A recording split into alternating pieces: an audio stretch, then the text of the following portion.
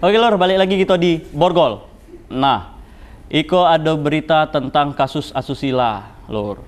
Jadi, ada seorang korbannya berusia 13 tahun di daerah Tanjung Jabung Barat. Itu dengan inisial VC, gadis berusia 13 tahun, digilir oleh lima orang pria. Waduh, waduh, waduh. Namun dari lima pria tersebut, tiga di antaranya saat Iko berhasil diamankan. Hahaha. Bagaimana beritanya? Kita pantau di pantauan Bang Jack. VC seorang gadis berusia 13 tahun di Kabupaten Tanjung Jabung Barat menjadi korban perbuatan asusila oleh lima orang pria. Ia disetubuhi oleh lima orang pria secara bergilir. Kasus ini terungkap setelah adanya laporan dari DA, 46 tahun yang merupakan orang tua korban.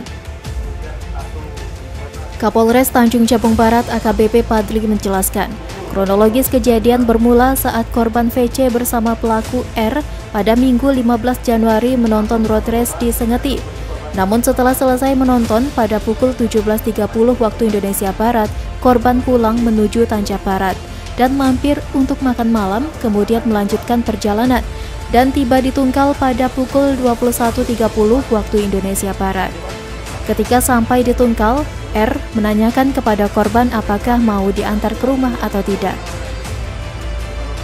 Korban VC menyampaikan takut pulang ke rumah karena sudah larut malam dan takut dimarahi orang tuanya. Sehingga kemudian korban minta untuk diantar ke kos milik temannya MR. Setibanya di kos milik MR, korban bertemu pelaku HG dan dua orang inisial AP dan HD yang masih buron.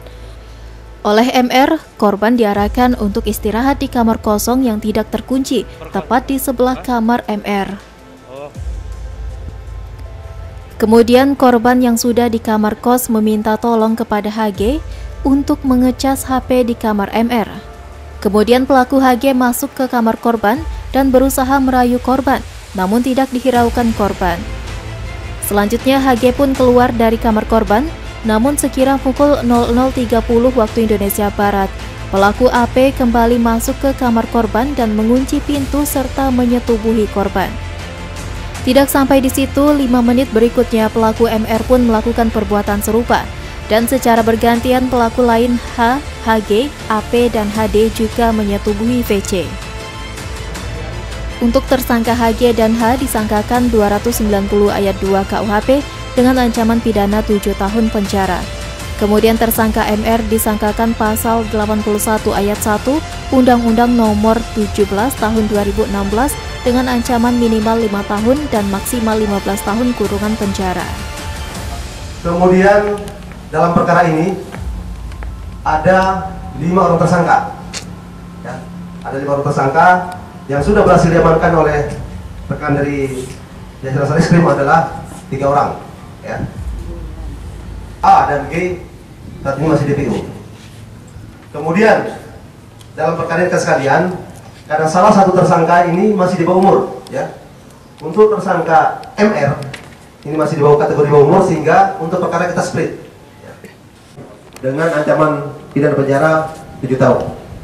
Kemudian untuk tersangka MR kami kenakan pasal 81 ayat 1 Undang-Undang Nomor 17 Tahun 2016 tentang Perlindungan Anak dengan ancaman minimal 5 tahun maksimal 15 tahun penjara. Dari lima orang pelaku, tiga pelaku telah diamankan polisi, dan dua pelaku AP dan HD hingga saat ini masih DPO dan sedang dalam proses penyelidikan dari Satreskrim Polres Tanjab Barat.